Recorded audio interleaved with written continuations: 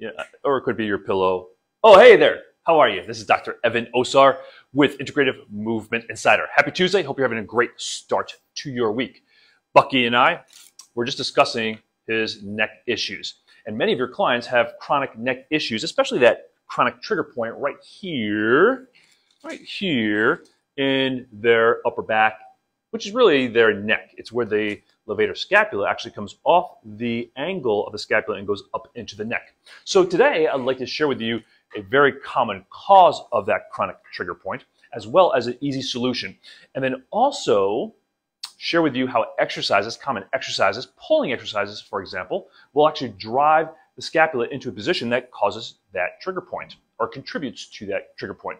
And then give you access to a brand new resource. It's actually not brand new, however, it's relatively new because we just did it in, the, I should say, in the last few months. Jill and I, two anatomy geeks, we covered this very topic of the head and neck and how this relates to your client's issues. So, first of all, let's talk about the anatomy and why anatomy is important. It's not so that you can impress your friends with your anatomy knowledge, unless that's what you want to do. if, if they're easily impressed by your anatomy knowledge, my friends are not impressed by my anatomy knowledge. Even though Jill and I have a good time on Two Anatomy Geeks. For those of you that are part of our community, thank you for being part of the Two Anatomy Geeks community. However, it's important to understand anatomy because that helps understand or explain why some of your clients have these chronic trigger points, like in their levator scapula. So the levator, levator scapula comes again from that superior angle of the scapula right here, and it runs up into the first four bones of your neck. So it inserts into the transverse processes of the first four bones of the neck. It has multiple functions. Number one, it helps stabilize the scapula. It can also help rotate that scapula into downward rotation. It can also help to rotate the neck towards the same side, so towards the left side in this case. And it can also help to side bend the head and neck as well. It can also elevate, hence the term levator is elevate the scapula. So it's got a lot of functions. Unfortunately, when our clients have suboptimal, we'll, we'll use the word suboptimal, suboptimal strategies for stabilizing their scapula, levator scapula is one of those muscles that can become overactive.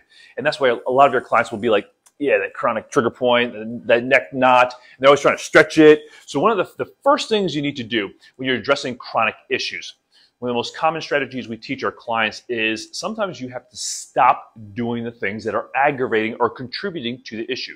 So one of the things that will contribute to chronic levator scapular trigger points is when you keep, your client keeps overstretching it. Like this stretch, even though it may feel good temporarily, actually will contribute to greater levator scapular issues.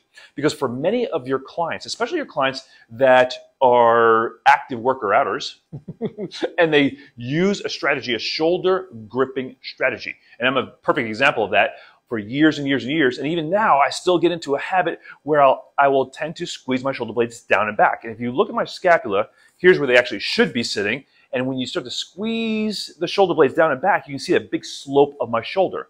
It's not a great strategy for your back. It's definitely not a great strategy for your neck because what it does is starts pulling that scapula into downward rotation. The scapula needs to be up here somewhere around the level T2. So don't worry about exactly where it is. Just know that when you're looking at your client, you should not see this big slope of their shoulder or long slope of their shoulders. They should be relatively up here where they belong. Now, obviously, they don't belong up here either.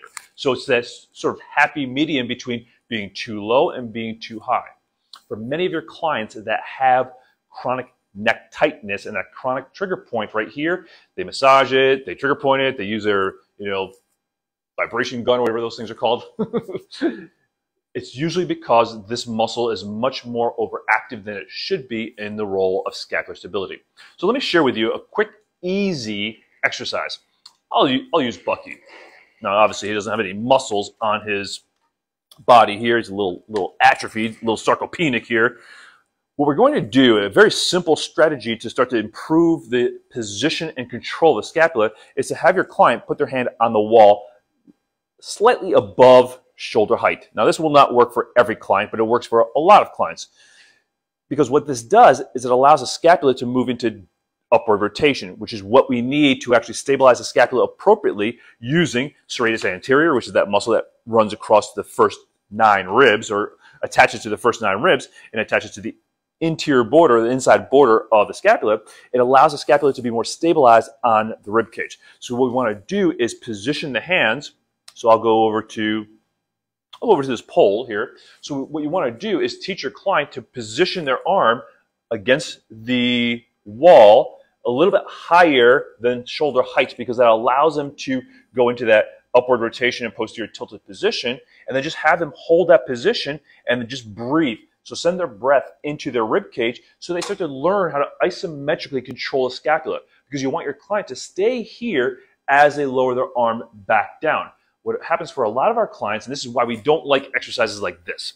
So if you look at a lot of our exercises, you'll you will rarely see us do exercise where we're doing squeezing apart or pulling a band all the way apart and squeezing the scapula together because it's not teaching the client how to control their scapula. It's just teaching the client how to move their scapula, which is a very small piece of training. The majority of our clients actually need to learn how to control their scapula. So this position, teaching them how to be in upward rotation and posterior tilt, and then lowering their arm down without, allow, without allowing the scapula to come into this downward rotated position is one important key and probably one of the most important keys, if not the most important key to improving the scapula control. Now, once you've done that, again, I just we just have our clients work on that on a regular basis. This is their, their sort of posture exercise during their day. Get out of your chair, put your hands up against the wall, hold this position, breathe, make sure you keep that neck and rib cage aligned, and then just teach them how to align and control the scapula on the rib cage. It seems so simple, however, it's a very powerful way to teach your clients how to align and control that scapula. Now, of course, you then, you then need to teach them how to incorporate this into functional exercise. Because what a lot of clients will do is then they go to their, do their exercise, and then what they, they end up doing is pulling themselves right back down into that downward rotated position. So we want to teach our clients how to row and maintain that upward rotation and posterior tilt. And for a lot of your clients, it's stopping the elbow when it's in line with the body, not allowing them to bring the elbow back, which then drives the scapula into more anterior tilt and then fires up that levator scapula. Because again, if you watch, come a little closer, if you watch, it actually drives my scapula up into my neck and it overuses by overusing that levator scapula. So again, align your head and neck, your client's head and neck, align the rib cage, grab the handle.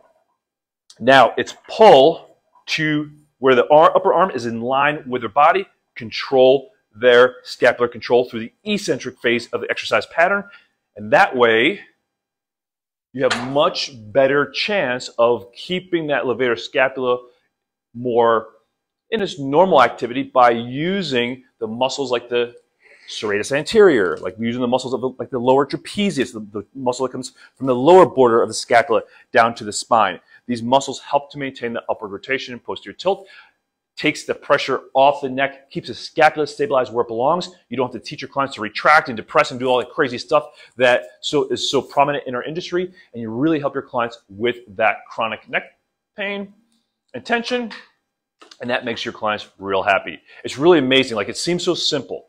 Like change the position, modify the position so the client is in a more optimal position, teach them not to over recruit that muscle during their exercise patterns, and you will solve, relieve a lot of this chronic neck tension and chronic tension that's related to people will say things to you like, yes, my pillow, must be my pillow. Well, maybe it is, but maybe it's not.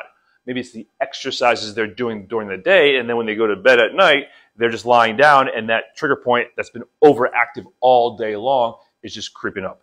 Stop the things that are contributing to the problem, like driving the arm so far back behind the body or squeezing down and back and avoid the overstretching of it for some of your clients that have that slope, that dramatic slope to their shoulders, and then teach them how to control it during their functional exercise patterns. And you'll help a lot of your clients with chronic neck issues and become that go-to solution, go-to specialist in your region for clients that have chronic neck and upper back issues because this is also a common issue related to upper back issues as well. So I hope that makes sense. Hope you learned a little bit about the levator scapula and the scapular stabilizers. And if not, then maybe just reinforce what you already know. That's a cool thing as well.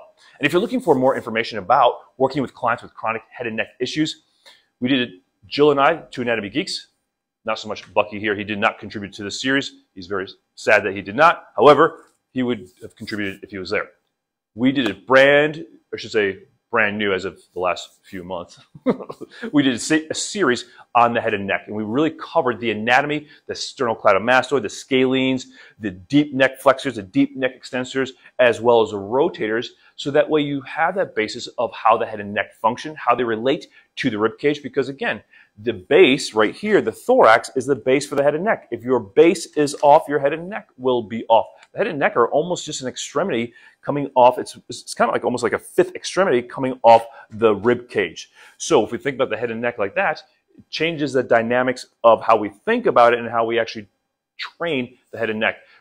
A lot of head and neck training is really just about aligning the head and neck and making sure that we're not doing things to aggravate the head and neck. So we'll cover the anatomy so you feel very confident with the anatomy. And more importantly, we'll teach you the assessments and corrective exercises to address the muscles of the head and neck help your clients improve their posture because posture is related to function. There's a couple great studies that just came out. Actually, there's quite a few studies that came out recently about the relationship of the head and neck to respiration. And they took these clients uh, in these studies, multiple studies show this, when they bring the head into a forward head position, it actually changes the respiration, changes the force of respiration, it decreases the force of respiration, and it increases the activity of the accessory muscles of respiration. It makes sense. However, there's lots of people saying that posture doesn't matter. So there's some studies coming out now that's actually proving that yes, posture matters. So we'll talk about why the head and neck are so important to uh, the nerves that are coming out of the head and neck that come down and innervate the shoulder, as well as in a very important muscle that sits right up in here, diaphragm. So we'll talk about that so you feel very confident about the head and neck. We learn, we teach it in a way that helps you learn it, absorb it, and apply it. It's really the learning, the absorbing, and the applying that makes this series so much fun for us to do, and more importantly, allows you as health and fitness professionals to learn this information and more importantly, apply it to your clients so you can actually address their issues and really attract more individuals that have these issues that just haven't gotten relief from most exercise strategies or many exercise strategies. So the link is below or above this video, wherever you're watching it. If you have any questions about the levator scapula, the, the scapular stability, as well as the head or neck, leave them here and I will be sure to answer them. So I hope you have a great Tuesday. Check out Two Anatomy Geeks, the head and neck series. We also have the shoulder and the elbow, wrist, and hand that we did as a complete three part. Each part is three parts. the head and neck is three parts. The rotator cuff is three parts. And the elbow, wrist, and hand are three parts. We put it together in a bundle so that way you really have a complete look at the head and neck, rotator cuff, as well as, as the elbow, wrist, and hand. So that, that way you become that go-to specialist for your current clients and it can attract more individuals that need, want, and will pay for your expertise. So hope to see you in the Two Anatomy Geeks community. Make it a great day. Go out there and lead. Next time on Integrative Movement Insider, we're doing another special episode here this week. I'll be coming back to talk about the knee and the valgus knee and how valgus knee issues are sometimes related to the big toe. So we'll talk more about that on Thursday on Facebook Live. Make it a great week, and we'll see you on Thursday. Talk to you soon. Bye bye.